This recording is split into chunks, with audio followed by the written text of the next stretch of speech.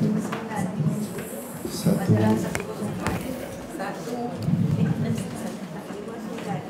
Satu lima sembilan. Ada penuntut ilmu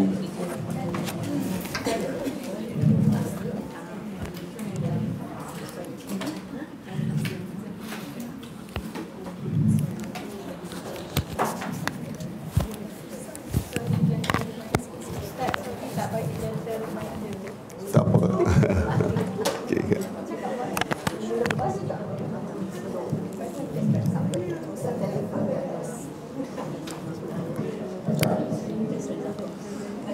Bismillahirrahmanirrahim.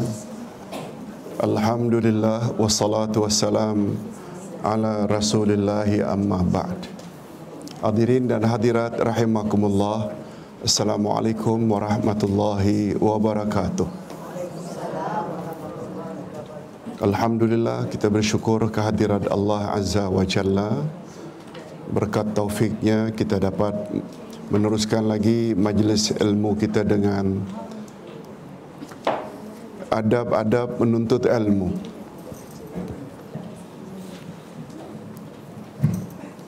Ustaz bacakan dulu tolong ikuti beberapa hadis Nabi. Kita baca semuanya dulu kemudian baru terjemahan. Qala Rasulullah sallallahu alaihi wasallam Man salaka tariqan yaltamisu fihi ilma sahalallahu lahu bihi tariqan ilal jannah qala rasulullah sallallahu alaihi wasallam man ta'allama ilman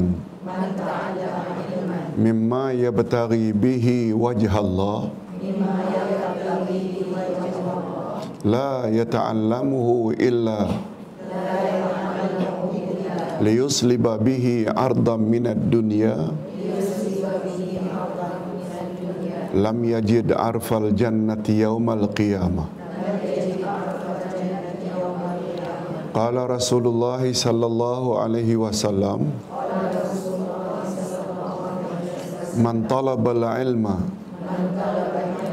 liyujari bihi ulama. Atau liyumari bihi sufaha. Wa yasrifa bihi wujuhun nasi ilaihi. Adhalullahu nar hadis pertama riwayat Imam Muslim hadis ini selalu kita dengar Barang siapa yang melalui suatu jalan untuk menuntut ilmu Niscaya Allah permudahkan baginya jalan menuju ke syurga. Mudah-mudahan kita termasuk golongan ini.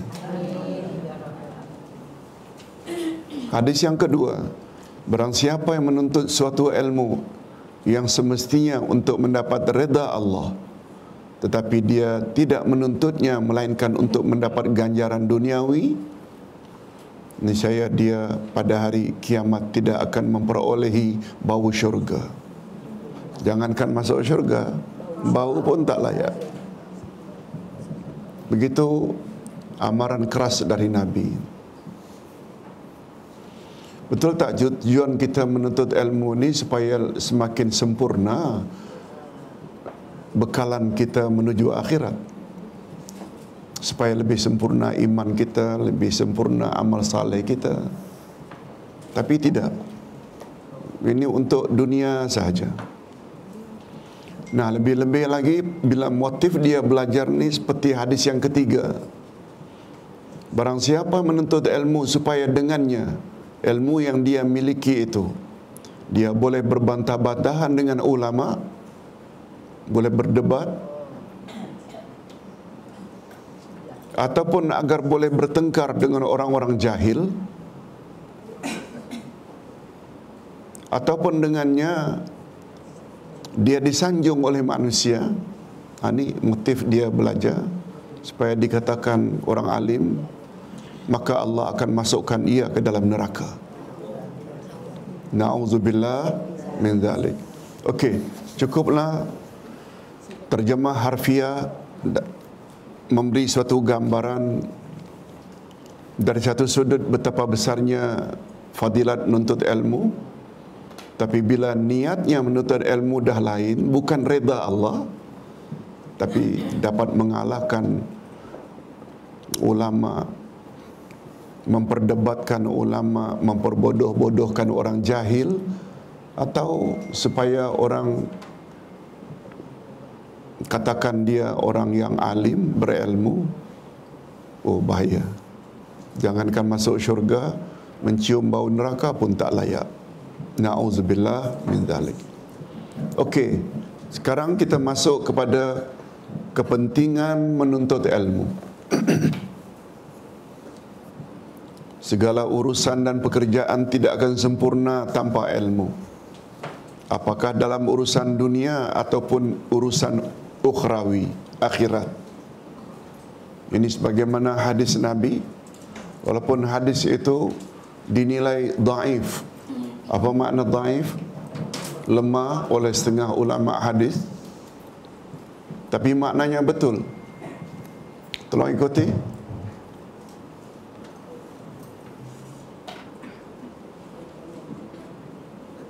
Man arada wa man arada al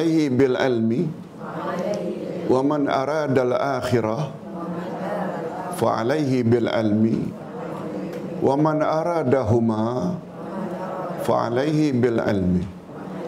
Siapa ingin berjaya di dunia hendaklah dengan ilmu. Siapa ingin berjaya di akhirat hendaklah dengan ilmu.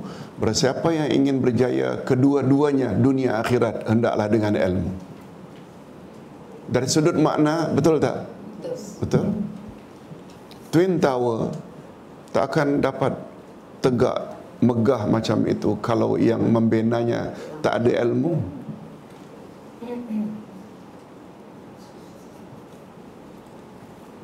Membuat handphone ini membuat bermacam-macam alat-alat elektrik dan elektronik. Kalau tak ada ilmu itu tak tak jadi juga. Lebih-lebih lagi lah terhadap hal-hal yang bersifat keakhiratan malahan akidah atau iman seseorang tidak sah kalau hanya dengan bertaklid mengikut tanpa ilmu dan ibadatnya pula boleh berubah menjadi maksiat jika ia dilakukan dalam kejahilan. Okey, itu sekedar nak beritahu betapa pentingnya ilmu. itu sebabnya kata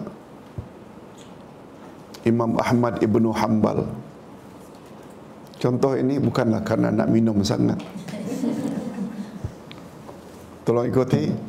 Hajatun nasi ilal akli wa syurbi marratani aw salasa marrat fil yaum walakin hajatun nasi ilal ilmi mithlu adadil anfus. Manusia berhajat kepada makan minum cukup dua atau tiga kali dalam sehari. Breakfast lunch dinner. Tapi hajat manusia kepada ilmu sebanyak turun naiknya nafas. Betul tak? Dapat kita bayangkan betapa perlunya ilmu. Okey oh minumlah sikit. Bismillah. Pembahagian ilmu. Walaupun ilmu itu mustahak tapi ada tak ilmu yang tak berguna? Ada. Apa contohnya? Sihir. Black magic ilmu pukau dan lain-lain.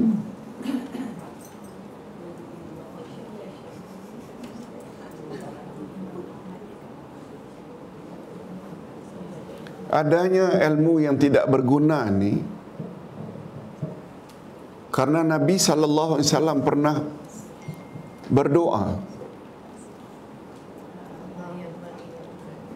Tolong ikuti Allahumma inni a'udzubika min ilmin la yanfa. Ya Allah lindungilah aku dari ilmu yang tidak bermanfaat. Nabi juga mengajar agar kita baca doa setiap selesai salat subuh. Allahumma inni a'udzubika min ilmin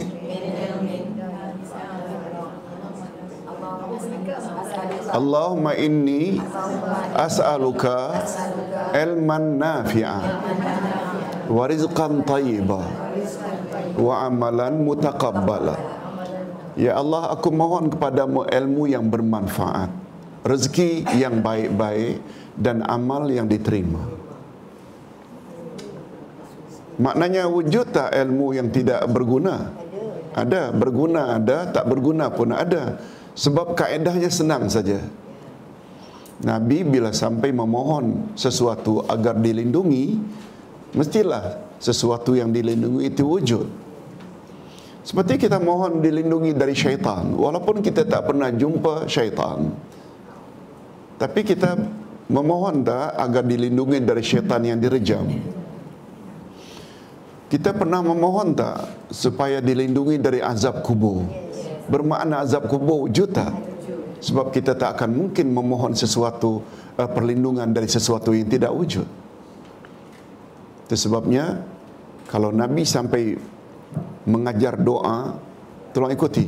Allahumma inni a'udzubika min ilmin la yanfa wa min qalbin la yakhsha wa min nafsin la tashba wa min ainin la tadma. Wa min da'watin la yusma. Ya Allah aku mohon dilindungi dari ilmu yang tidak bermanfaat. Ya Allah lindungilah aku daripada hati yang tidak khusyuk. Ya Allah lindungilah aku daripada nafsu yang tak pernah kenyang. Ya Allah lindungilah aku daripada mata yang tak pernah mengalir air mata penyesalan.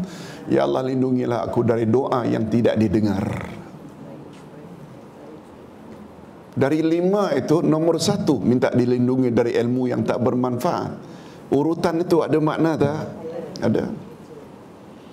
Okey, confirm kalau begitu ilmu ada yang berguna dan ada yang tidak berguna. Yang kita mohon pula agar Allah bagi kita ilmu yang Nah sekarang ni apa makna ilmu yang bermanfaat atau ilmu yang berguna?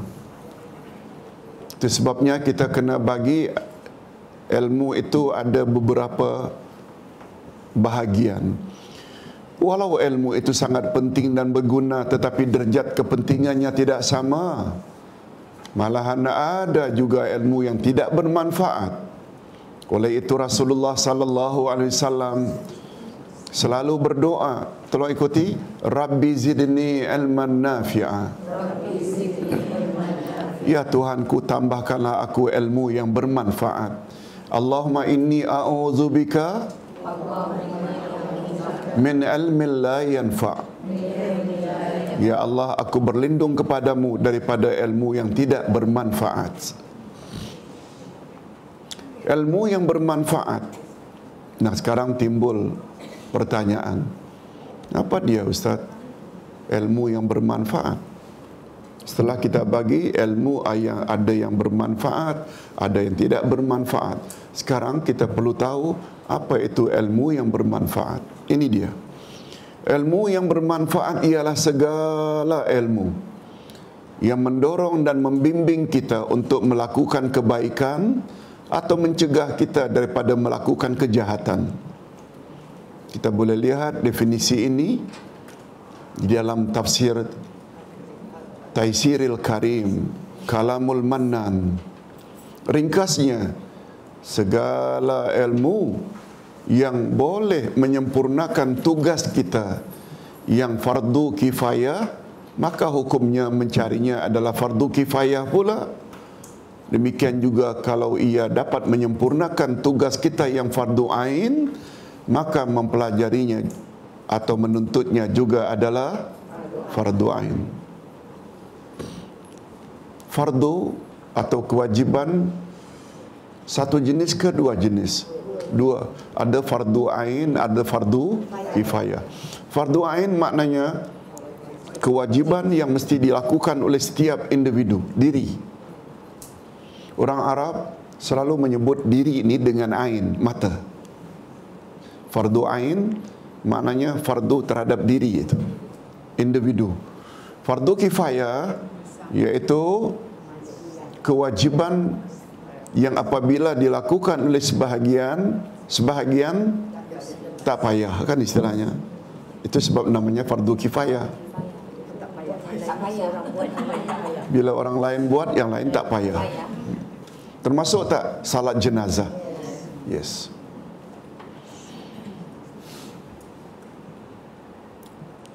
Fardu kifayah tak belajar kedokteran atau fardu ain? Kifayah. Bila dah banyak doktor yang lain tu tak dosa bila tak belajar.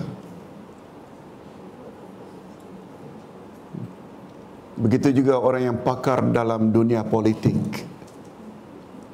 Orang yang pakar dalam ilmu ekonomi. Semua itu fardu kifayah. Fardu ain termasuk tak salat puasa zakat haji akidah itu semuanya sebab kaedah ilmu usul menyebut mala yatimul wajib illa bihi fahuwa wajib. Tidak sempurna suatu kewajiban kecuali dengannya maka dia juga hukumnya wajib.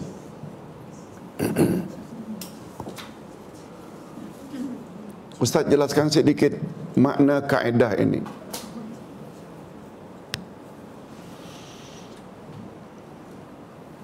Kata Pak Nek nak ayah nak keluar itu kipas angin itu rosak. Ayah mau ayah balik petang nanti sudah baik. Kipas angin ini. Suatu kewajiban tak dari ayah ayah pergi, si anak pula tergapai-gapai tak sampai tangannya. Kewajiban tak dapat dilaksanakan, perintah ayah tak dapat dilaksanakan. Kecuali mengambil meja ini untuk berdiri di atasnya. Atau tangga atau kursi. Sehingga sampai. Kipas angin baru boleh diperbaiki dengan sempurna dengan terlebih dahulu mengangkat meja ini maka hukum mengangkat meja wajib. Tak sempurna suatu kewajiban kecuali dengan mengangkat meja, maka mengangkat meja hukumnya wajib. Dapat faham? Kaedah ini kaedah. Kaedah lain tidak sah salat tanpa wuduk. Betul tak? Oleh sebab itu, untuk kesempurnaan kewajiban salat mengambil uduk jadi wajib tak? Sebab tanpa uduk tak tak sah. Macam itulah. Kita ingin salat sebagaimana yang Allah suruh. Tapi salat ada cara tak? Maka mempelajari cara salat yang diajar oleh Rasul wajib sebenarnya. Wajib hukumnya. Kita membaca Al-Quran, membaca Quran mestilah dengan tajwid maka hukum tajwid wajib tak? Wajib. Kalau salah baca, salah makna. Bila disebut tajwid ya, tak semestinya mesti pandai gayanya, taranumnya, itu lain. Itu hanya yang dipanggil dengan istilah bahasa Arab, tolong ikuti, tahsiniyat. Ustaz setuju dengan satu ceramah tentang tajwid ini makhraj. Kata orang seorang ustaz memang kelulusan bahagian qiraat. Kita jangan terlalu menyusah-nyusahkan. Kalau kha tu macam nak keluar kahak ain. Nada itu tidak dituntut. Itu semua tahsiniyat alham alham kalau kurang eh, diulang sampai tiga kali tiga kali at-tahi at-tahi akhirnya tahi tahi tahi karena ndak kemasnya ha-nya itu ndak sampai ke situ tak sampai ke situ. Tapi ada tak dari kalangan setengah-setengah guru itu macam itu? Tidak, tidak, tidak. Tak macam itu. Kita sebenarnya lidah kita lidah okey sangatlah berbanding dengan lidah India. Betul tak?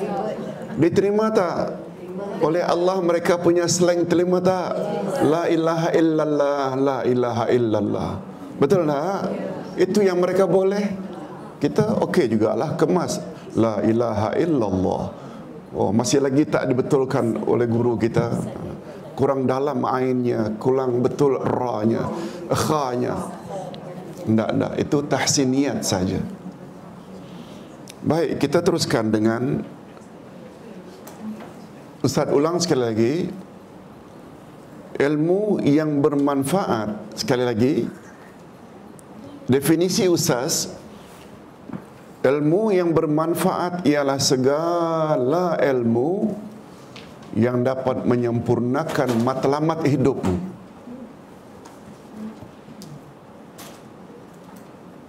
Ibu-ibu, kalau ditanya apa matlamat awak dicipta oleh Allah?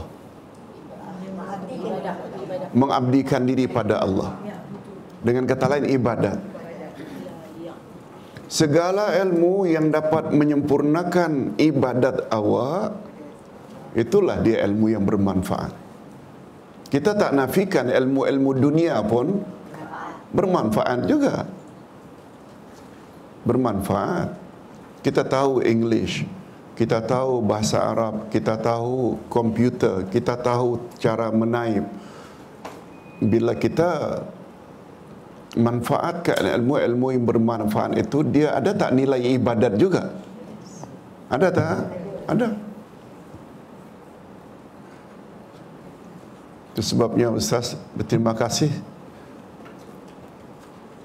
kepada seorang jiran anak muda yang kerja di Mimos. Beliaulah yang mengajar Ustaz sampai boleh menaif, boleh save, buat file. Jadi semua yang Ustaz tulis ini dia yang mengajar mula-mula. Dia dapat pahala tak? Sebanyak itulah dia dapat. Ustaz dapat, dia dapat. Lihat tu ilmu yang bermanfaat. Ilmu yang bermanfaat, Masya Allah. Ya, lebih-lebih lagi cikgu ya, cikgu Fatimah. Kita bimbing anak-anak murid, akhirnya sekarang jadi ini, ini, ini. Itu semua termasuk ilmu yang bermanfaat tak?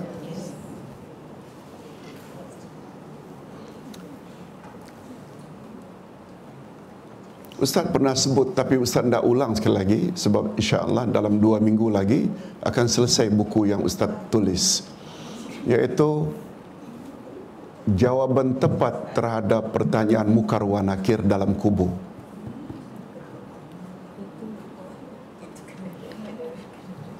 Walaupun disebut soalnya soal bocor.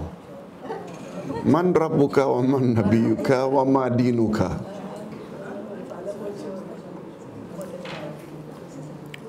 Sejuta kalau Ustaz katakan belum tentu kita boleh jawab? Sebab yang jawab bukan mulut. Apa dia? Amal. Seperti yang Allah sebut dalam ayat 65 dari surat Yasin. Tolong ikuti.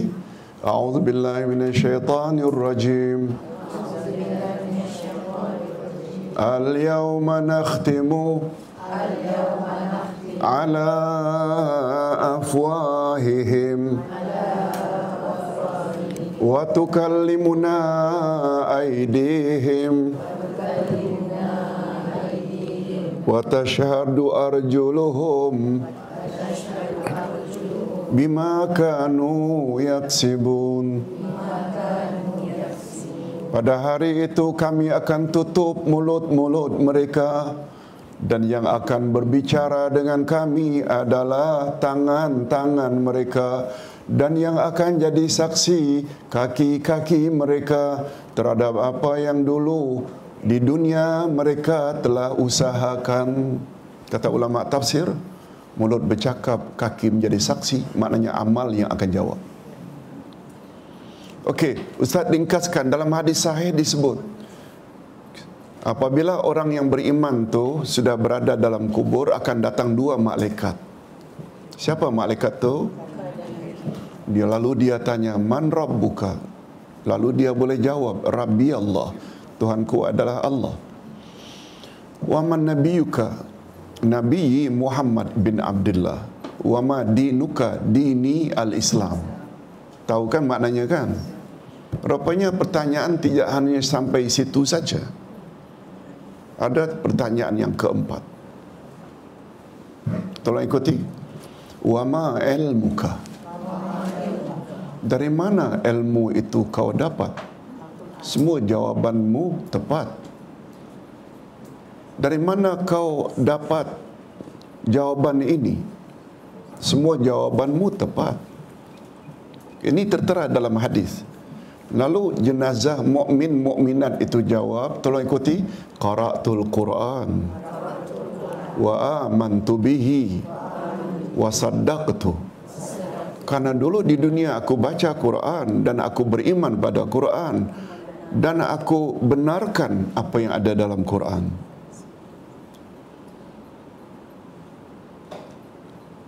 Jadi apa yang ustaz buat terhadap pertanyaan siapa Tuhanmu ini ayatnya 10 20 tambah dengan 10 hadis Nabi tentang jawaban apa itu atau siapa Tuhanmu siapa nabimu ini juga ayat-ayatnya apa agamamu ini ayat-ayatnya jadi ketebalan ni lebih kurang 300 muka surat itu penuh dengan ayat-ayat Quran dan hadis Nabi sesuai dengan pertanyaan. Ibu-ibu jangan bimbang ya, bukan untuk dihafal ya. Ustaz tahu dah mula mengerut muka di, yang di belakang sana.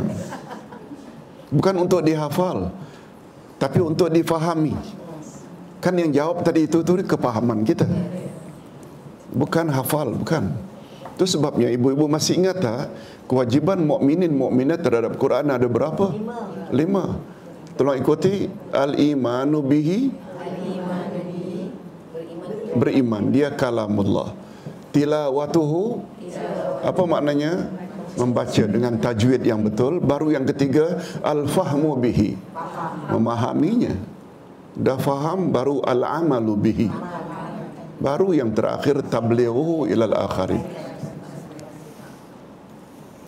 ada tak hafazan? Tak ada. Tak ada. Tak ada. Oh, cepat cikgu jawab.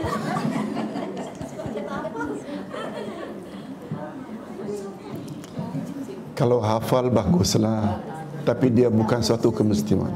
Sebab Allah faham itulah kekuatan manusia menghafal ni berbeza-beza. Yes. Okey. Silakan baca nanti.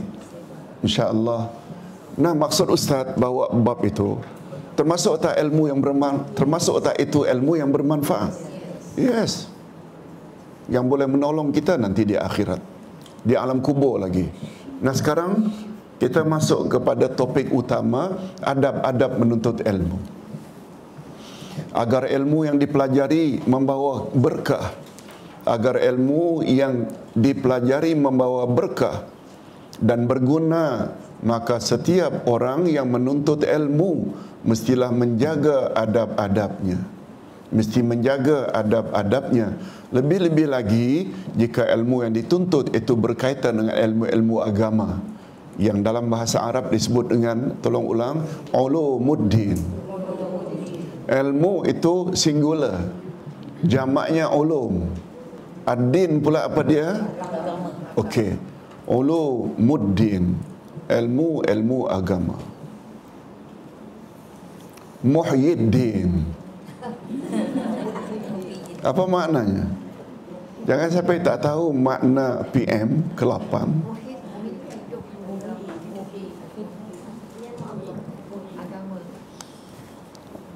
Hidup Bukan. Muhyi menghidupkan. Salah ya Bacaan salah. Mahyuddin Itu salah. Muhyi. Ustaz masih ingat lagi Kawan Ustaz dari Lubnan. Namanya Muhyiddin. Kawan-kawan panggil mohe. Tapi jangan pula PM panggil mohe. Allah itu bukan hanya hidup. Kan al-asmaul husna, al-hayyu itu Allah hidup. Tapi Allah juga muhyi. Muhyi maknanya menghidupkan. Beza tak? Allah itu hidup, dia hidup selama-lamanya. Dia pula menghidupkan yang lain. Kita ni dia yang hidupkan tumbuh-tumbuhan, binatang dan dia juga yang mematikan. Jadi Muhyiddin ini orang yang menghidupkan agama. Baiklah Ustaz tak mau bahas sebab ada pro and kontra. Tapi Alhamdulillah Ustaz kenal baik dengan beliau. Diundang beberapa kali dulu ketika beliau sebagai MB Johor dulu ya. Kemudian sebagai menteri. Baik, kita berbalik kepada persoalan. Apa makna ulumuddin? Ilmu-ilmu agama. Termasuk tak ilmu akidah, ilmu tafsir, ilmu hadis, ilmu fiqh, ilmu akhlak termasuk tak? Itu dia. Adapun di antara adab-adabnya ialah sebagai berikut. Pertama sekali, niat mesti ikhlas. Yang dimaksud niat yang ikhlas karena Allah ialah dia berniat ketika menuntut ilmu dia berniat ketika menuntut ilmu dan mengajarkannya semata-mata untuk mendekatkan dirinya kepada Allah dan supaya dia dapat memelihara kemurnian syariat Allah dan menyebarkannya serta melepaskan dirinya dan umat daripada kejahilan. Itu matlamat dan tujuan kita. Itu sebabnya Nabi Muhammad sallallahu alaihi wasallam kalau tidak tahu betapa hebatnya belajar Quran ini tolong ikuti khairun nasi man ta'allama al-Quran wa 'allamah Sebaik-baik manusia ialah orang yang mempelajari Al-Quran dan mengajarnya pada orang lain. Boleh faham tak? Mengapa Quran itu bila kita pelajari adalah kita akan jadi manusia yang terbaik? Sebab Quran kalamullah. Ada tak yang boleh challenge, cabar kalamullah? Betul tak kalamullah semua kandungannya benar belaka? Awal-awal Quran lagi Allah dah sebut zalikal kitabula raiba fi.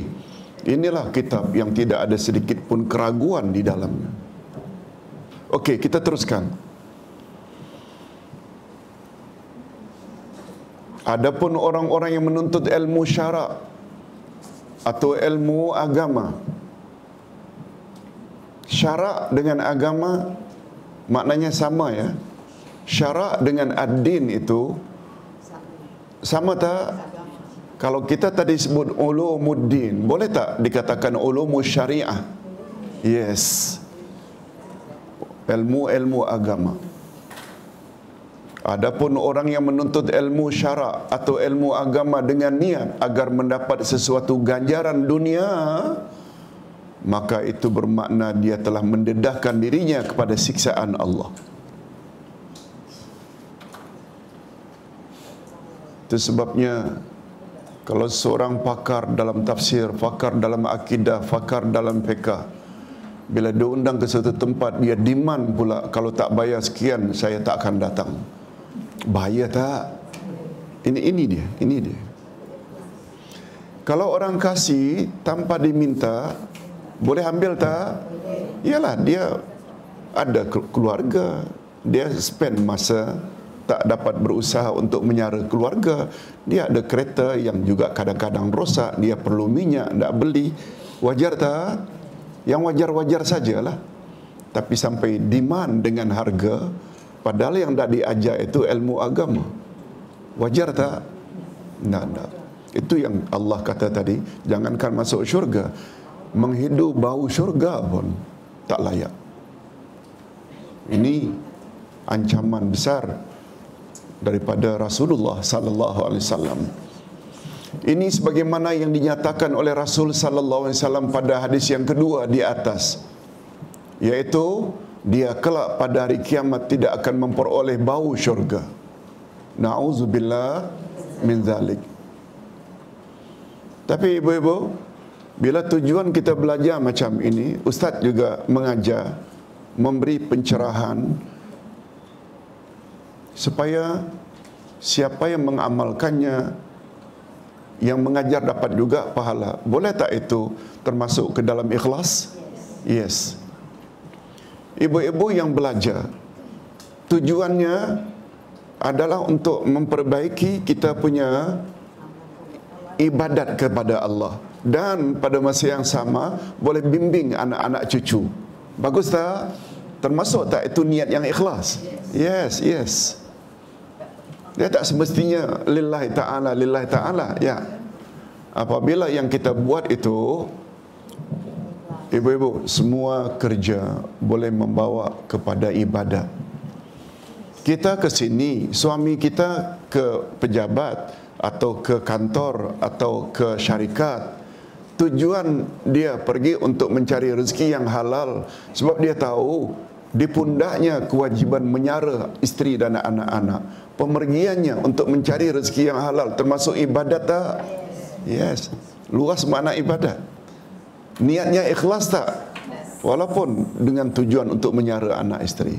Apalagi dengan tujuan bila lebih duit nanti saya nak pergi umrah lah, nak pergi haji lah atau nak membantu mak bapak. Semuanya itu dah termasuk ikhlas. Baik, kita teruskan. Demikian juga kalau dia menuntut ilmu syarak dengan maksud supaya dapat berbantah-bantahan dengan ulama. Atau orang-orang yang jahil atau supaya orang lain menyanjung dan hormat kepadanya. Maka nasib orang itu kelak. Sebagaimana tercantum pada hadis tiga Allah akan masukkan ia ke dalam neraka. Wal billahi min zalik. Oleh sebab itu betulkan niat betulkan niat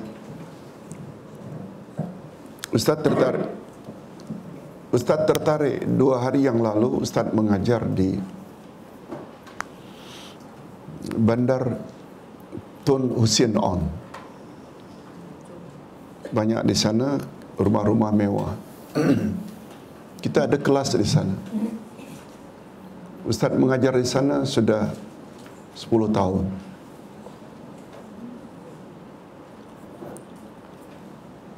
Puan rumah meninggal dunia baru minggu lalu. Istrinya.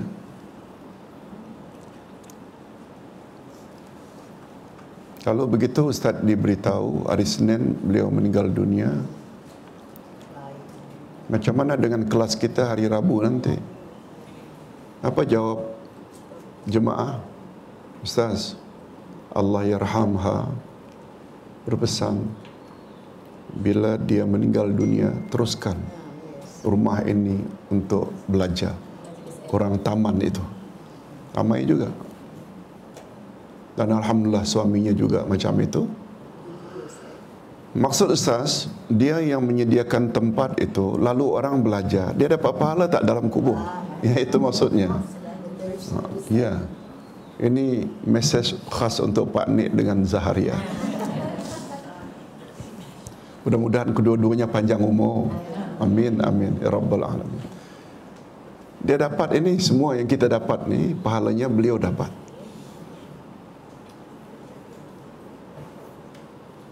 Ustaz tadi pagi mengajar di section 9 di Shah Alam. Sampai suatu bab. Tolong ikuti. Inna manzilatas sabab manzilatul fa'il atau lebih kurang macam itu sesungguhnya kedudukan sebab itu sama dengan kedudukan pelaku. Sesungguhnya kedudukan sebab sama dengan kedudukan pelaku.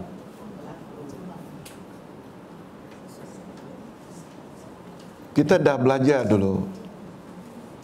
Oh, sama bukunya. Kita akan sampai nanti pelajaran itu. Allah laknat empat golongan. Allah laknat apa makna laknat? Minta Allah jauhkan dari rahmat. Itu makna laknat. Sebabnya kata Nabi, kaum ibu jangan sekali-kali melaknat anak walau jahat macam mana pun. Sebab laknat maknanya ya Allah, tolong jauhi rahmatmu dari anakku ini. Jangan gunakan istilah laknat. Dalam hadis sahih riwayat Imam Muslim, Allah Subhanahu wa taala berfirman, Nabi bersabda, Allah melaknat empat golongan. Golongan pertama, golongan yang menyembelih binatang dengan menyebut selain nama Allah. Yang kedua, Allah melaknat anak yang melaknat mak bapaknya sendiri.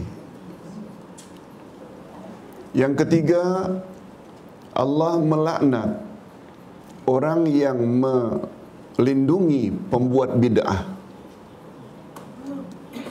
Dan yang keempat, Allah melaknat orang yang mengubah sempadan tanah. Tahu sempadan tanah? Rumah ke kebun ke? Malah kata Nabi, siapa yang merubah sempadan hanya sejengkal saja, sejengkal saja, nanti di akhirat dia akan ditimpakan oleh tujuh lapis bumi. Kita kalau ditimpa almari saja boleh main ceret. Tahu main ceret? Boleh ceret beret kita. Hanya almari saja. Ini tujuh lapis bumi akan menimpa sebagai azab orang yang hanya mengambil sejengkal tanah orang. Okey, Ustaz nak singkatkan saja. Ada berapa golongan tadi yang akan mendapat laknat Allah? Apa mana laknat? Minta jauh dari rahmat Allah. Satu di antara yang akan dilaknat itu yaitu Allah melaknat seorang anak yang mengutuk mak bapaknya sendiri. Nah, timbul pertanyaan, macam mana ustaz? Nabi ditanya, "Ya Rasulullah, manalah ada anak yang mengutuk mak bapak sendiri?"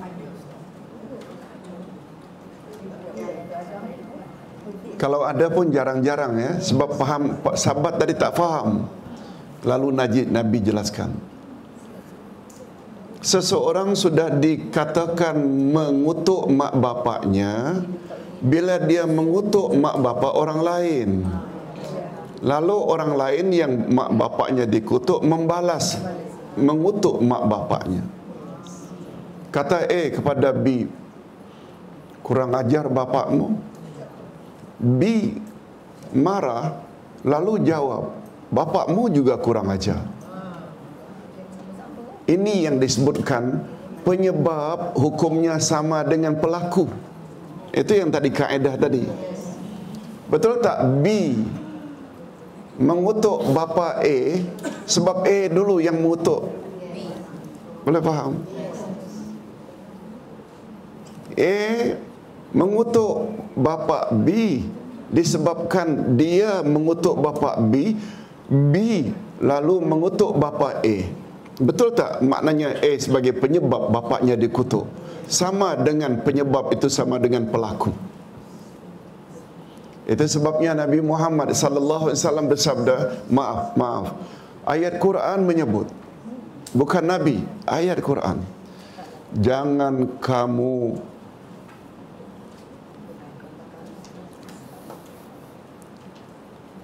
mengutuk tuhan-tuhan agama lain sebab kelak mereka akan mengutuk Tuhan kamu. Boleh faham? Itu maksudnya kita mengutuk agama orang Hindu. Lalu orang Hindu dengar kutukan, dia juga akan mengutuk Tuhan kita. Allah tak pasal-pasal dikutuk. Siapa penyebab? Ah ini. Itu sebabnya ada kaedah penyebab kedudukannya sama dengan pelaku. Betul tak kita dapat ilmu ni disebabkan ada rumah ini sebagai sebab. Ya, ownernya Pak Nik dan Zaharia. Segala pahala yang kita dapat menuntut ilmu ini, beliau dapat tak? Yes. Macam itu. Macam itu kaedahnya dalam agama. Itu sebabnya itu sebabnya bila kita faham itu, betul tak kita rajin berbuat amal saleh. Apalagi memberi pencerahan dan memberi menolong orang lain. Baik. Kita teruskan dengan yang kedua. Yang pertama tadi apa dia adab-adab menuntut ilmu niat. Yang kedua mengamalkan ilmunya. Ah ini namanya kurang adab bila dia hanya menambah ilmu tapi dia tidak amalkan ilmunya. Jika dia mengamalkan ilmu syarak yang sudah dipelajari, maka Allah akan mewariskan kepadanya ilmu-ilmu yang belum dia ketahui. Ini sebagaimana firman Allah. Tolong ikuti. Walladzina tadau zadahum huda wa atahum taqwahum dan orang-orang yang mendapat petunjuk Allah menambah petunjuk kepada mereka dan memberikan kepada mereka balasan ketakwaannya. Tetapi sebaliknya barang siapa yang tidak mengamalkan apa yang telah dipelajarinya maka besar kemungkinan Allah akan mencabut atau menarik kembali ilmunya itu. فبما نقضهم ميثاقهم. لعناهم وجعلنا قلوبهم قاسية.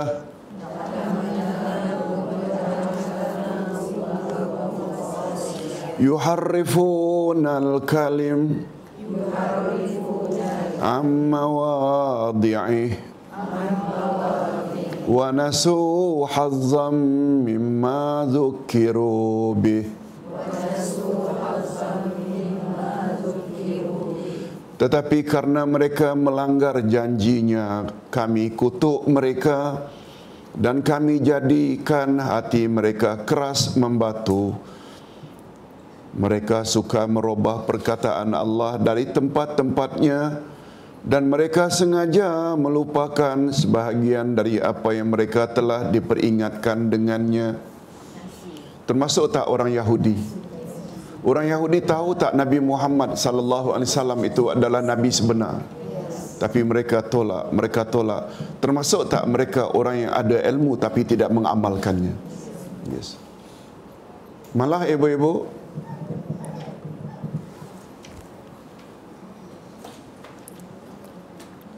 Orang yang apabila beramal karena tidak ada ilmu namanya jahil. Namanya apa? Jahil. Bahasa kita orang itu bodoh. Tak ada ilmu. Tapi bila dia ada ilmu lalu tidak mengamalkan dia dipanggil jahil atau degil. Degil. Bahasa Arabnya inad. Tolong ikuti inad. Mana lebih berbahaya inad dengan jahil? Yes. Inad atau degil lebih berbahaya daripada jahil. Itu sebabnya kata ulama tafsir Allah dahulukan permohonan kita dalam surat Al-Fatihah ghairil maghdubi alaihim waladdallin. Tunjuki kami ya Allah jalan yang lurus. Jalan orang-orang yang telah Engkau beri nikmat. Bukan jalan orang yang Engkau murkai dan bukan pula jalan orang yang sesat. Ketika ditanya siapa orang-orang yang dimurkai, Nabi jawab Yahudi. Siapa golongan yang sesat? Nabi jawab Nasrani. Walaupun dua-duanya tak elok, disebut lebih dahulu bukan golongan yang dimurkai. Ini maknanya mereka ada ilmu tapi tidak mengamalkan. Betul tak Yahudi degil?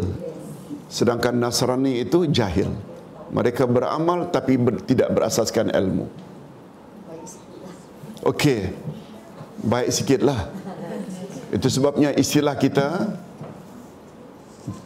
mana agama ahli kitab Yahudi dan Nasrani yang lebih dekat dengan Islam? Nasrani atau Yahudi? Itu sebabnya sejak dahulu sampai sekarang bukan orang biasa, malah ulama-ulama pendeta atau pastor kalau di Indonesia sangat banyak memeluk Islam. Tapi Yahudi betul tak jarang-jarang? Zaman Nabi, Yahudi yang masuk Islam boleh dihitung dengan sebelah jari saja. Abdullah bin Salam dan dan dan dan sangat sedikit. Tapi Nasrani banyak. Baik. Kita teruskan dengan yang ketiga, adab menuntut ilmu adalah berakhlak mulia. Orang-orang yang menuntut ilmu syarak mestilah menghias diri mereka dengan budi pekerti yang mulia. Mereka hendaklah sabar dan tenang. Baik penampilannya lemah lembut, suka berbuat makruf kebaikan tanpa menghadapi tabah menghadapi cobaan dan cabaran dan memiliki akhlak yang terpuji lainnya menurut syarak atau adat yang sejahtera uruf salim. Selain itu mereka juga mestilah mengikis daripada diri mereka segala sifat yang tercela seperti suka mengeluarkan kata-kata keji, celupa, menyakiti hati orang lain, memaki kata-kata kasar dan kesat, mengumpat, bengis, tidak bertimbang rasa dan lain-lain sifat tercela lainnya menurut syarak atau adat yang sejahtera. Ustaz, karena banyak boleh Ustaz ringkaskan? Boleh ya? Hadirin dan hadirat.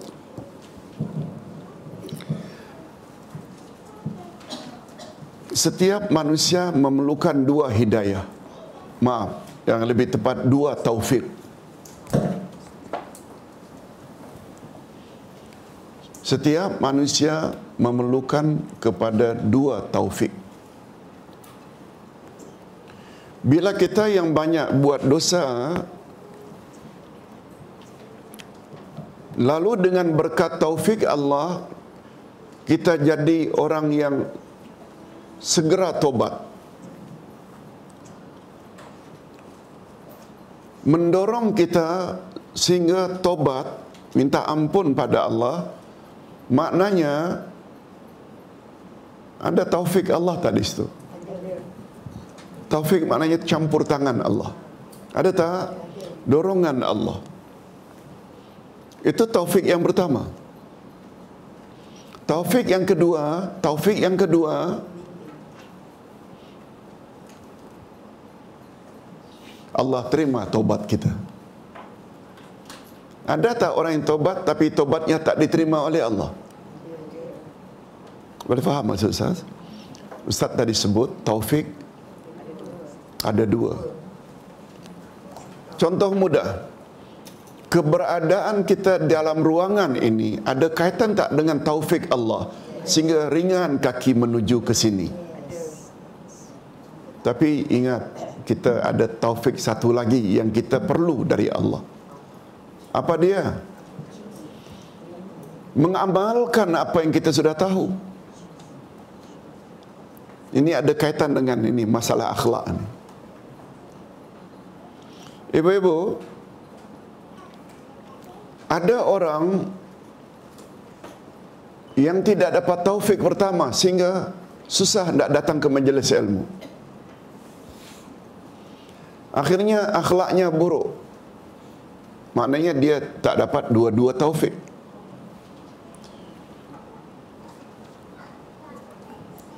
Ada orang didorong oleh Allah diberi taufik untuk datang ke majlis ilmu dan dengan pertambahan ilmu diamalkannya dalam kehidupan sehari-hari sehingga dia jadi orang baik. Betul tak namanya dapat dua-dua taufik? Tetapi ada tak juga kemungkinan orang yang dapat taufik pertama tapi tidak dapat taufik kedua? Ada tak? Ilmunya banyak tapi dia tidak amalkan. Boleh faham? Tergolong tak orang kedua ini orang yang degil? Ilmu ada tapi tidak amalkan. Itulah sebabnya salah satu daripada adab-adab menuntut ilmu awak mesti amalkan apa yang awak sudah tahu.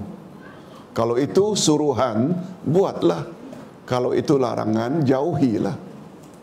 Boleh faham maksud Ustaz? Tadi kita dah sebut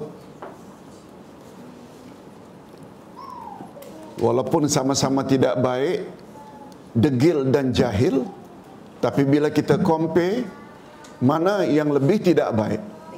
Degil. Maknanya ilmu ada tapi dia tidak mengamalkannya. Okey yang keempat. Yang keempat bersungguh-sungguh mencari ilmu mudah-mudahan kita termasuk ke dalam golongan ini ilmu tidak dicapai dengan cara santai atau rileks.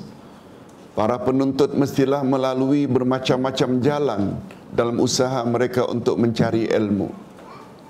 Mereka mesti bersungguh-sungguh berusaha untuk mendapat ilmu sama ada dengan menghadiri ceramah, menekuni kelas bimbingan atau dengan membaca kitab, mendengar kaset agama, CD dan lain-lain. Sungguh tepat sabda Nabi. Tolong ikuti.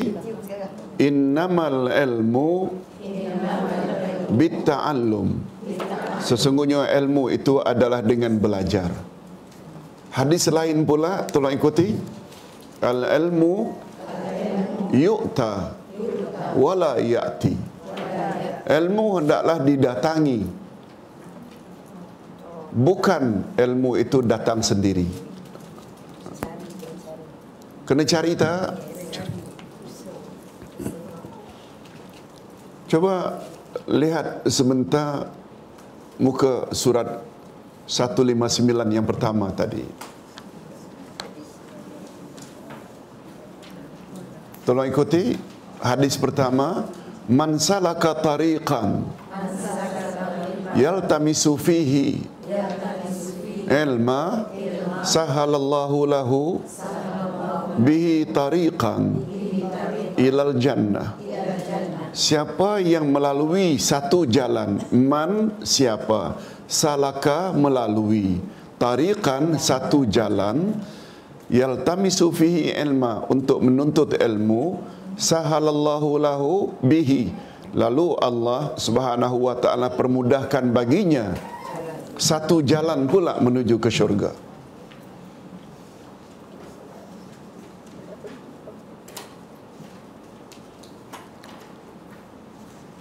Ustaz pernah sebut jalan di sini ada dua jenis. Tolong ikuti. Tariqun hissi. Tariqun maknawi. Tariqun hissi maknanya jalan physically Kak Amah tadi datang daripada section berapa? Melalui jalan ini jalan itu sampai ke sini. Kita yang datang daripada Shah Alam lain pula jalan. Kita yang datang daripada Sungai Besi lain pula jalan. Kita yang datang daripada uh, Subang lain pula jalan. Itu namanya jalan apa? Hissi physically. Satu lagi namanya tariqun maknawi tolong ikuti tariqun maknawi bukan jalan physically. Maknawi maknanya jalan yang sifatnya abstrak.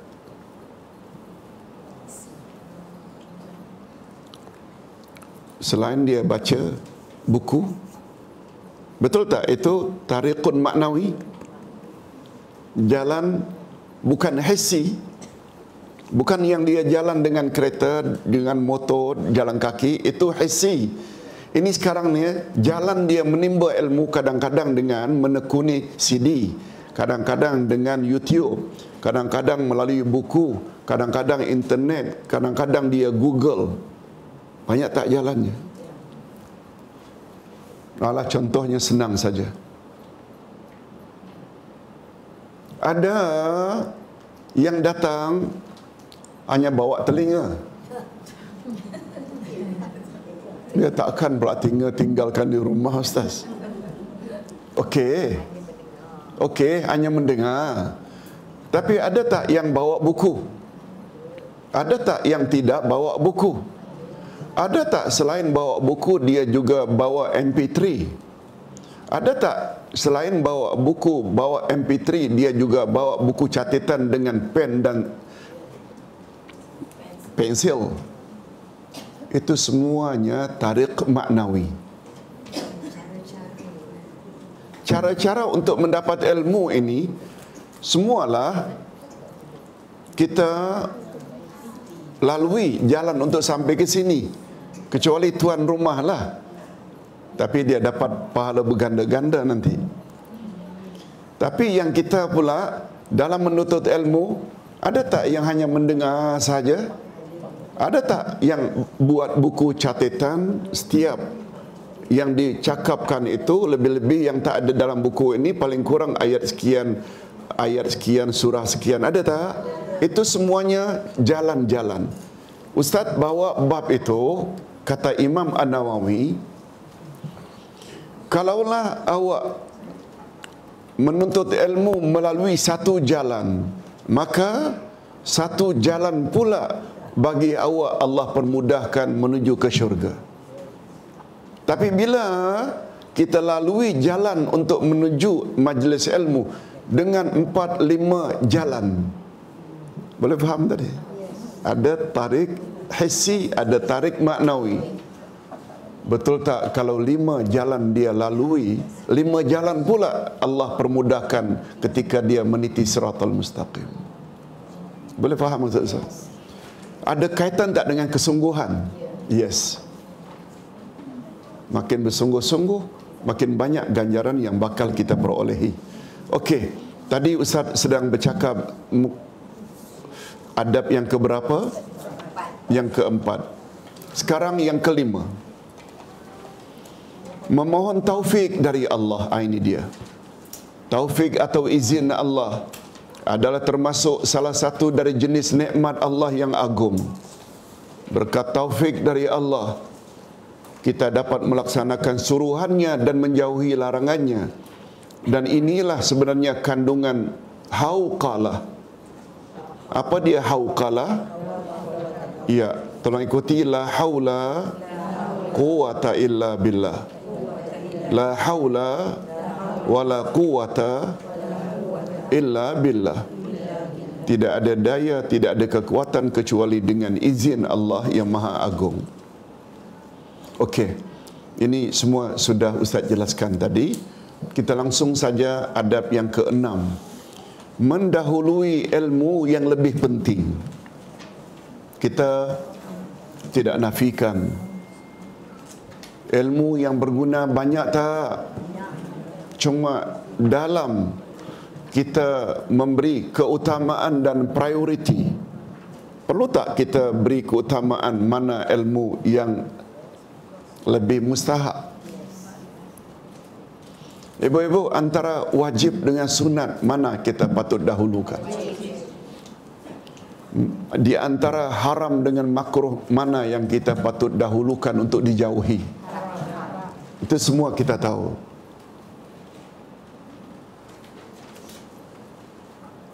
Allah Subhanahu wa taala suruh tak supaya kita memohon kepada Allah berilah aku kebaikan di dunia dan berilah aku kebaikan di akhirat. Antara ilmu yang berkaitan dengan dunia ilmu yang berkaitan dengan akhirat betul tak sama-sama mesti dituntut? Tetapi terhadap ilmu agama ini Ustaz selalu tanya Boleh Ustaz ulang balik? Boleh tak? Ilmu ilmu agama ini mana yang patut didahulukan bagi sweet 70 antara 17 dengan 70 terhadap ilmu agama ini mana Ustaz tidak nafikan sweet 17 juga perlu ilmu agama? Bila dibandingkan dengan sweet 70 mana lebih penting? Mana yang lebih memerlukan sebab sebentar lagi exam ni. Man rabbuka wa man nabiyuka tak jawab macam mana? Itu sab, sampai timbul satu idea. Allahu Akbar sayangnya jemaah-jemaah yang sudah lanjut usia ni kalau-kalau nanti tak boleh jawab. Lalu Ustaz buat buku ini. Jawapan tepat. Kebetulan dua tahun yang lalu. Sebenarnya dah dua tahun Ustaz buat buku ini Ustaz dengar ceramah di Masjidil Haram Mekah. Dia cakap bab ini ni. Dia bawa hadis tu. Eh eh bagus sekali ni. Sebelum meninggal dunia ni kena buat buku ini. Nak tolong kita supaya macam mana nak jawab nanti? Boleh faham maksud Ustaz yang tadi tu? Kita, tanpa menafikan yang muda pun perlu ilmu agama. Tapi kita yang sudah lanjut usia betul tak? Kawan-kawan kita hampir tiap bulan kita tengok ada yang mendahului kita. Betul tak akan tiba juga turn kita? Macam mana anda? Masya Allah Alhamdulillah. Insya Allah dalam dua minggu nanti tolong baca buku ini. Mendahulukan ilmu yang lebih penting. Okey. Ustaz dalam bab ini pernah sebut berdasarkan pengalaman berdakwah dah lebih 40 tahun. Pembelajaran Islam ilmu agama ulumuddin di Nusantara. Mereka lebih utamakan fiqh dari akidah. Padahal menurut Rasulullah mana yang patut didahulukan? Akidah. Dua kalimat syahadat itu dulu kena mantap dulu baru salat puasa zakat haji. Urutan itu tu memberi makna lebih-lebih lagi bila kita faham makna siratal mustaqim itu sebabnya kata Imam Al-Qurtubi Rabbana atina fid dunya hasanah wa fil akhirati hasanah wa qina azabannar Ya Allah berilah aku kebaikan di dunia dan berilah aku kebaikan di akhirat dan hindarkan aku dari azab api neraka. Menurut Imam Al-Qurtubi, hasanah fid dunia itu apa dia? Betul kebaikan dunia termasuk tak pangkat? Termasuk tak harta? Termasuk tak anak, pasangan, rumah, kereta? Kebaikan di dunia. Imam Al-Qurtubi mengartikan hasanah di dunia ni yang teratas dapat siratal mustaqim. Apa dia hasanah di dunia bukan hasanah fil akhirat. Hasanah di dunia ini tanpa menafikan ada rumah, ada kereta, ada pasangan, ada anak, ada duit, ada pangkat. Tanpa menafikan itu hasanah fit dunia tapi bila disusun ranking tertinggi itu adalah siratal mustaqim. Boleh faham maksudnya? Berapa banyak orang yang banyak duit? Bill Gates itu sebabnya kan ada satu istilah orang yang paling kaya ialah orang yang mengamalkan salat sunat dua rakaat sebelum subuh boleh faham maksudnya Betul tak Nabi menyebut dua rakaat sebelum subuh itu adalah lebih baik apa yang terdapat di antara langit dan bumi. Bill Gates mana punya macam itu? Maksudnya itu tanpa menafikan dia kaya hasanah di dunia dia dapat, tapi dia tidak dapat siratal mustaqim. Siratal mustaqim itu kan perjalanan empat kelompok Nabiin, Siddiqin, Syuhada dan Salihin Maknanya dalam hidup ni kita kena ikut empat kelompok ini Ustaz selalu sebut ini tafsir siratal mustaqim. Bukan golongan yang degil tadi Yahudi itu baru kemudian bukan pula golongan yang sesat. Maknanya maknanya di sini hebatnya surah Al-Fatihah. Masalah orang yang dimurkai Allah Yahudi ada ilmu tak diamalkan. Masalah orang Nasrani Kristian beramal tanpa ilmu. Orang yang dapat siratul mustaqim apa dia? Apa dia? Yes, itu dia. Ilmu terus dicari sebanyak mana ilmu yang dimiliki diamalkan. Kan itu tadi yang kita katakan salah satu adab menuntut ilmu. Boleh faham tak? Coba kalau baca surah Fatihah tolong bayang, bayangkan yang ini nih. Menunjukkan ilmu itu mustahak tak? Itu sebabnya kalau ustaz gunakan istilah impossible mustahil awak akan taat pada Allah secara sempurna tanpa ilmu. Apa dia? Ini mudah diingat. Allah sebut dalam Al-Quran.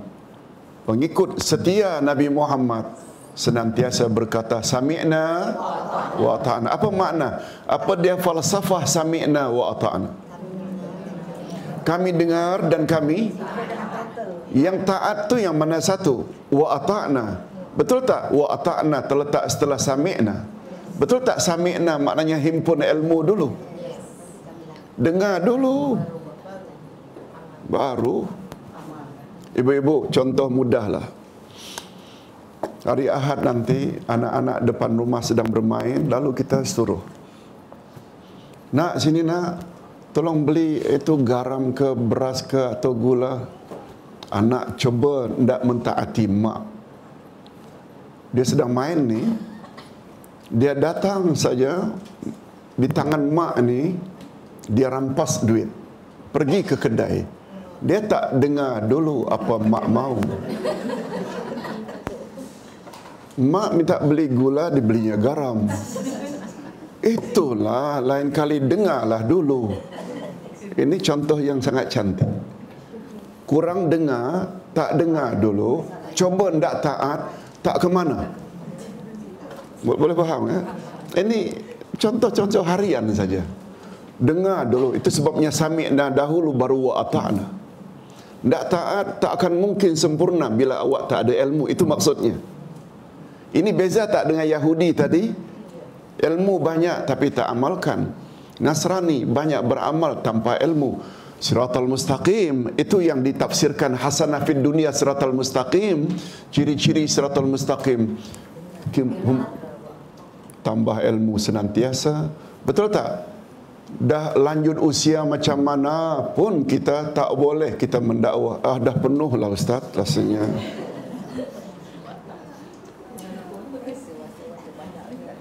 Mak banyak garam, mak, mak banyak garam pula. Mak banyak makan garam. Betul lah makan garam. Kadang-kadang anak kita ilmunya lebih daripada kita. Betul tak? Tak boleh kita. Setuju tak kalau ustaz punya istilah?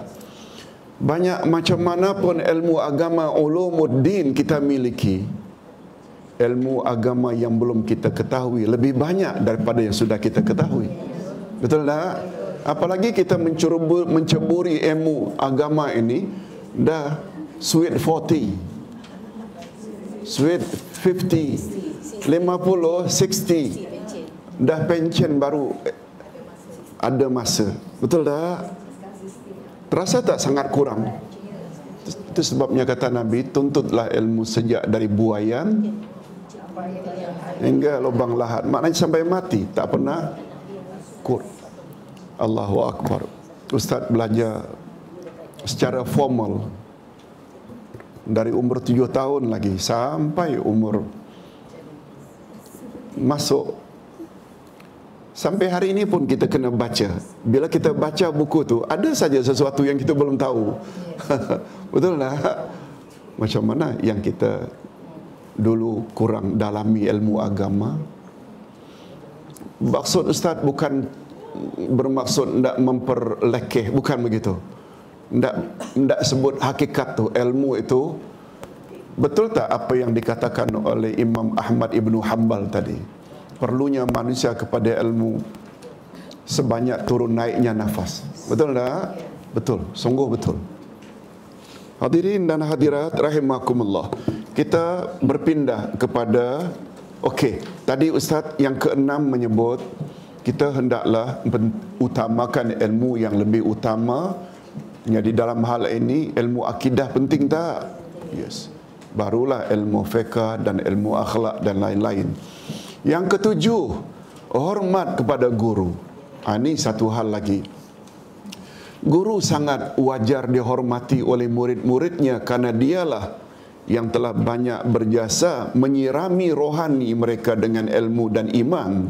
Oleh itu, guru berhak dihormati pada batas-batas yang wajar tanpa hulu atau berlebih-lebihan dan tidak pula taksir atau kurang hormat. Yang lebih tak boleh, kurang pun tak boleh. Ini yang disebut dengan adil.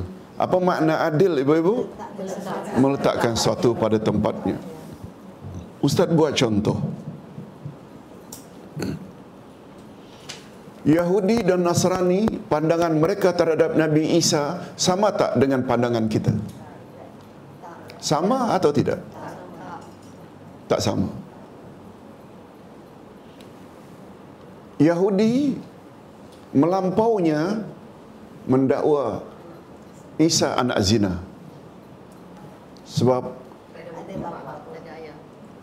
ibunya Maryam tak kahwin. Macam mana dapat anak? Itu bermakna Maryam berzina. Melampau tak? Dari segi bencinya. Nasrani pula melampau dari sudut sayangnya sampai mendakwa Isa anak Tuhan. Kita cenderung pada Yahudi ke Nasrani? Alhamdulillah. Ustaz tadi hanya nak menjebak saja.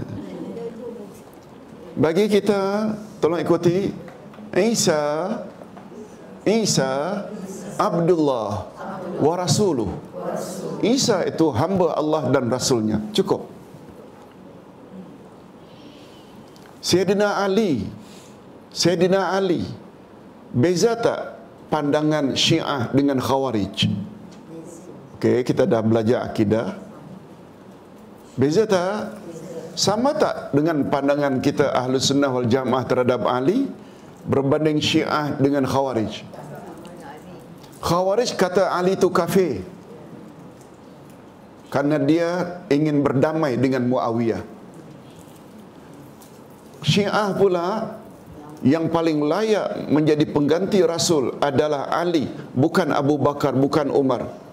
Dan melampau pula tak sayangnya pada Ali.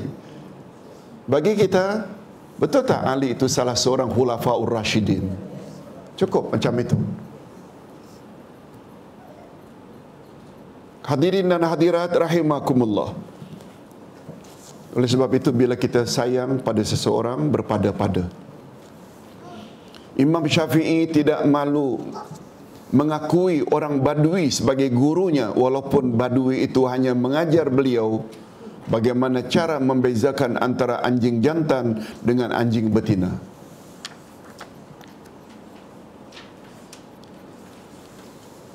Tahu tak kita apa bezanya anjing jantan? Tak tahu. Maksudnya ketika dia kencing, Mesti yang satu tu angkat kaki. Yang yang satu lagi tak angkat kaki. Ustaz pun tak tahu yang mana satu.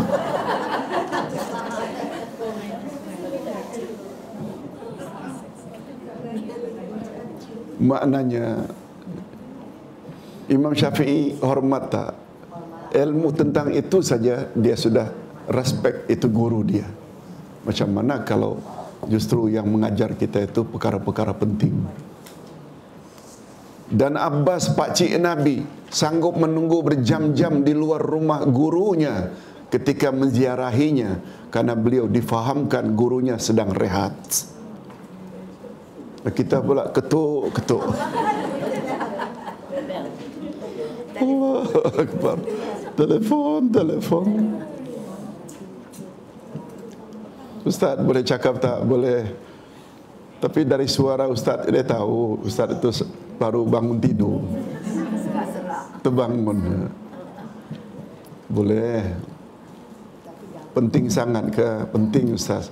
Boleh tak 3 minit? Boleh. Lantak dia sampai 15 minit. Ini selalu terjadi ini. Nah, kita kena hormatlah. Dan termasuk juga adab murid kepada guru ialah kalau mereka mengemukakan pertanyaan hendaklah pertanyaan yang bersifat ingin tahu dan menambah pengetahuan bukan pertanyaan mencabar atau menguji atau bertujuan melaga-lagakan antara sesama guru. Ini juga termasuk adab.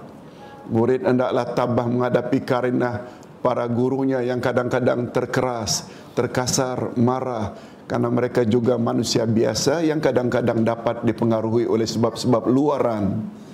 Ingat falsafah merotan dalam pendidikan guru hendaklah merotan murid pada waktu-waktu tertentu bukan sebaliknya. Bukan murid rotan guru. Allahu akbar. Subhanallah. Akhir-akhir ni kita ada kedengaran ya sesuatu yang agak menyedihkan. Seorang ibu yang anaknya disuruh merangkak, disuruh guru tu merangkak. Allahu akbar. Dah akhir zaman macam itu lah itu. Itu sebabnya ada satu tulisan daripada pengarah pendidikan kalau tak salah. Untuk ibu bapa lah. Sempena kes ini. Bagus beliau punya panduan. Ibu bapa kena tahu bahawa anaknya itu bukanlah bukanlah anak yang baik sangat. Guru-guru kalau tak ada guru susah juga sebab mak bapak mana boleh bimbing anak masing-masing. Maknanya perlu dihargai tak guru-guru? Yes. Okey, kita sampai ke bahagian yang terakhir, kesimpulan ilmu yang berguna ialah segala ilmu yang dapat menyempurnakan tujuan hidup kita yakni beribadat pada Allah. Macam macam mana cara salat, macam mana akidah kita dan lain-lain sangat perlu. Yang kedua, agar ilmu yang dipelajari diberkati Allah, maka setiap penuntut mestilah menjaga adab-adabnya iaitu niat yang ikhlas, mengamalkan ilmunya, berakhlak mulia, bersungguh-sungguh, memohon taufik Allah, mendahulukan ilmu yang lebih penting dan hormat guru. Dan Ustaz kira bagus juga kalau Ustaz sebut sedikit adab-adab menuntut ilmu menurut Abdullah bin Al-Mubarak. Mau catat tak? Okey pada muka surat 158 itu ada yang kosong. 158 ada kertas kosong itu. Adab tolong ikut tolong tulis adab-adab menuntut ilmu menurut Abdullah Al-Mubarak. Abdullah Yasin menyampaikan saja. Abdullah bin Al-Mubarak. Dalam kurungan 133 des 177 itu maknanya beliau lahir 133 wafat 177 betul tak? Umurnya lebih kurang 44 tahun. Lebih kurang Adab-adab menuntut ilmu menurut siapa tadi? Abdullah Al-Mubarak yang lahir tahun 133 meninggal 177. Pertama niat yang ikhlas sama sama dengan ini.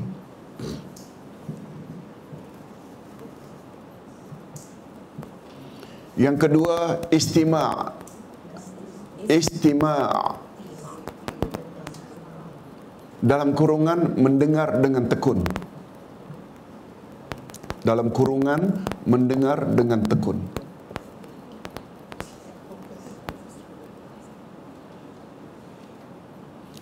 Yang ketiga al-fahmu. Dalam kurungan memahami.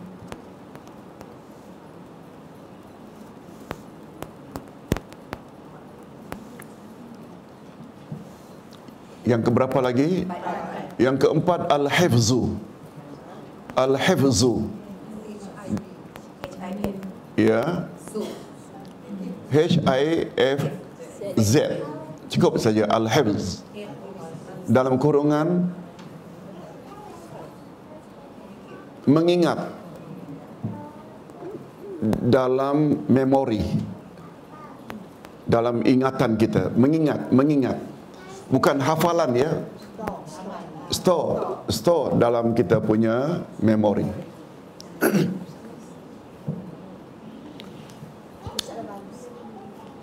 Ustaz dah bagi dulu.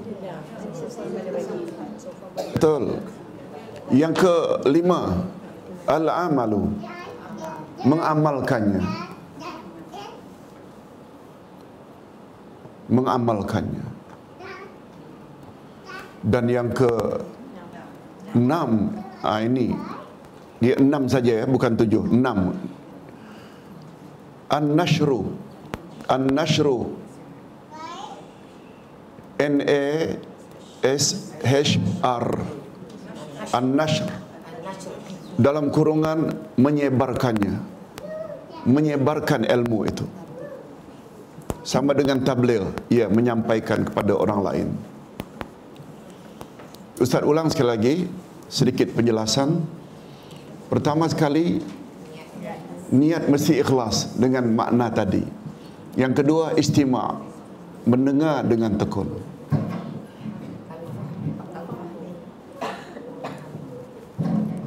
Yang ketiga al-fahmu kita fahamlah. Jangan tak faham lalu kita hadir ceramah bahasa Tamil. Kita tak faham. Barangkali tak ada guna juga kena faham. Atau termasuk juga kefahaman ni datang majlis semu langsung jangan tidur. Tidur macam mana faham pula. faham. Kemudian kita al-hifzu, kita store dalam memori kita. Ingatlah ingat. Betul tak? Kemampuan ingat ini berbeza setiap orang. Uh, mungkin dia satu-satu majlis uh, lima poin, mungkin tiga poin, mungkin tujuh poin. Pokoknya adalah yang dia store. Baru bila ingat ini barulah ke arah mengamalkan sebab bila tak store ini, macam mana anda amalkan? Setiap tanya, Kak Ma tanya, nak kamu tak buat itu ke? Lupalah mak. Tiap tanya lupa, lupa. Memang kalau lupa tak akan buat lah. Mana itu dia. Ingat selalu. Baru setelah ingat, kita amalkan, baru kita sebar-sebarkan pada orang lain. Boleh tak dengan kata lain dakwah? Yes. Ustaz itu saja Ustaz nak tambahkan. Jadi menurut Abdullah Al-Mubarak Abdullah Al-Mubarak adab-adab penuntut ilmu ada berapa? Ada enam. Abdullah Al-Mubarak juga menyebut yang Ustaz selalu sebut. Masih ingat tak? Ustaz ulang sekali-sekali lagi. Ulama lebih utama dari mak bapak kamu. Masih ingat? Tuan Syekh, mengapa macam itu ulama lebih utama dari mak bapak?